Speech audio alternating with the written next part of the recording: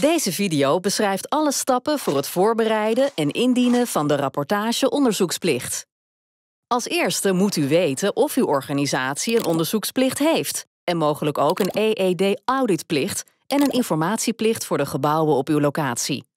U controleert deze verplichtingen met het stappenplan op rvo.nl/slash energiebesparingsplicht. Goed, dan de rapportage onderzoeksplicht.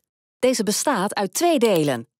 Eén deel dat u invult in eLoket en een deel dat u daar als bijlage aan toevoegt.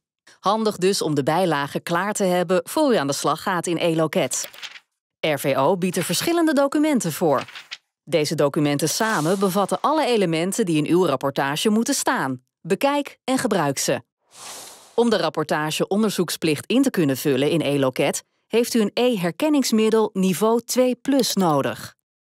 Let op, heeft u nog geen e-herkenning of nog niet het juiste niveau?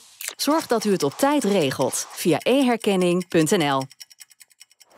In eLoket vult u het volgende in. De bedrijfsgegevens en de contactpersoon op de locatie.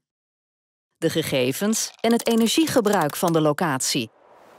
De getroffen maatregelen tussen 1 januari 2021 en 30 november 2023. De basischeck energiezorg. De onbenutte warmtestromen. De basislijst energiebesparende maatregelen. En de geïdentificeerde kosteneffectieve maatregelen met daarbij het uitvoeringsplan.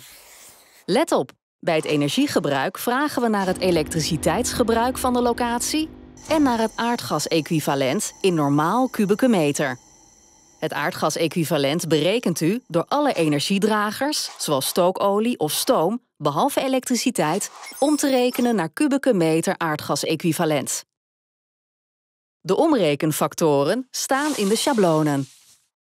Bij de laatste stap in eLoket voegt u de ingevulde rapportage onderzoeksplicht, de isolatiescan en de analyse aandrijfsystemen toe. Is alles ingevuld? Dan kunt u door naar Verzenden. Nadat uw rapportage is ingediend, krijgt u een bevestiging in beeld.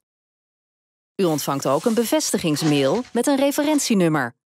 Dit nummer heeft u nodig bij contact met RVO en uw omgevingsdienst. Uw ingediende rapportage vindt u terug onder Mijn aanvragen.